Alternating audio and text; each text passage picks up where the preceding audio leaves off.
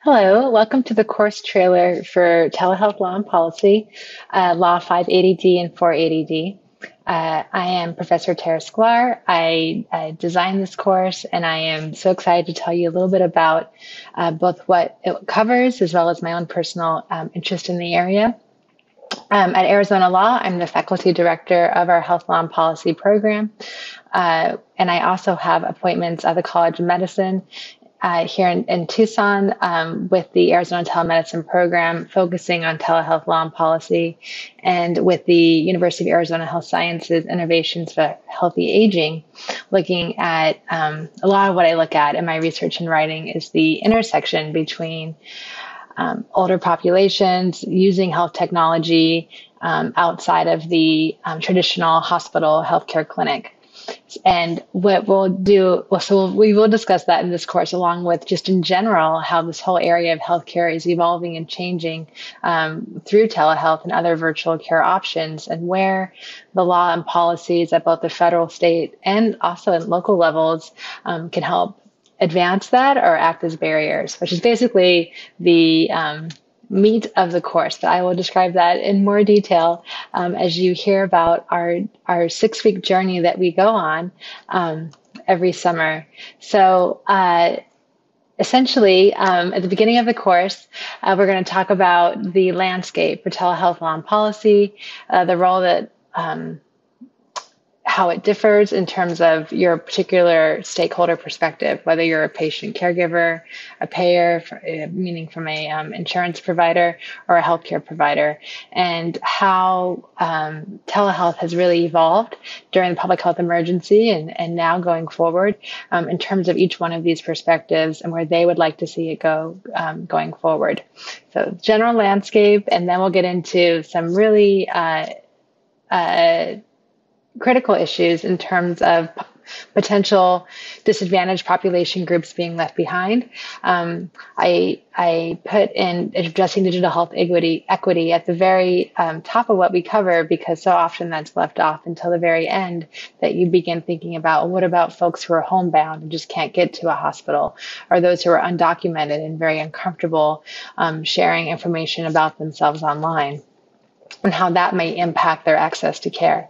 So we cover those issues and others in, in module two, and then think about particularly these disadvantaged groups as we discuss um, more policy topics like reimbursement and oversight with topics like uh, licensure and uh, privacy and security regarding your healthcare data.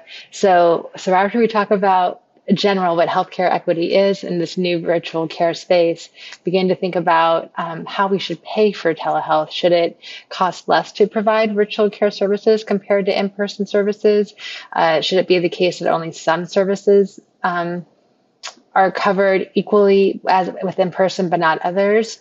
Uh, services that are high in demand, such as behavioral health, should that receive what they call parity, payment parity, the same for in person, or should that just be guaranteed to have some kind of coverage um, and not the same? So it's there's, there's all kinds of questions. There's an, an incredible amount of variation across the country when it comes to reimbursement between what's uh, reimbursed for in-person care versus telehealth services and then certain types of telehealth services such as if you're only on the phone or if you're live audio video or if you're using some kind of wearable or remote monitoring device it can all vary greatly uh, depending on what state you're in in terms of how that uh, service will be reimbursed.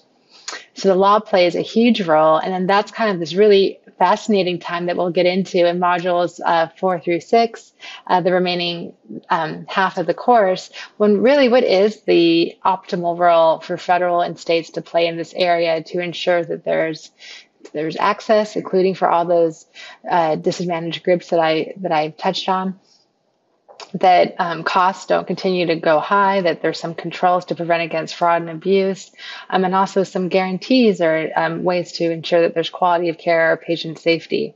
So we're looking at all those issues um, in weeks four and five, and we sort of end with the idea, well, going forward, how should we adjust the law or not to begin to um, accommodate uh, more virtual care options, and then what does this mean for in-person care going forward?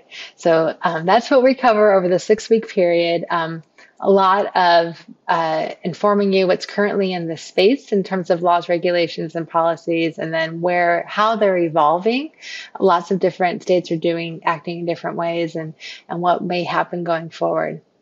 So uh, by the end of this course, you're going to be able to identify, explain, analyze, and apply the different laws and policies we'll be looking at. And I hope that you're going to come up with some really creative, dynamic recommendations.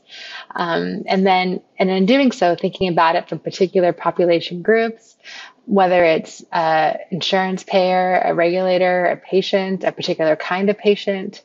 Um, uh, different regions, uh, particularly rural areas where you know virtual care has played a has historically continues to play um, a very outsized role, and um, and not just you know at the moment, but going forward three, five, ten years from now, what what is this space going to look like?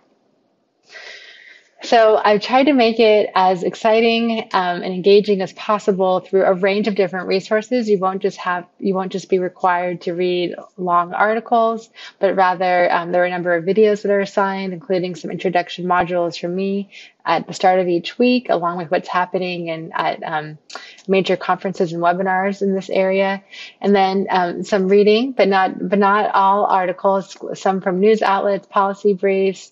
Um, there's there's a lot of information that's from credible sources that I'd like to expose you to, and then and then a little bit of um, websites and playing playing around if you were to plug in information uh, what would what would the outcome be and, and some podcasts. So a range of tools to really help you stay engaged with the course material.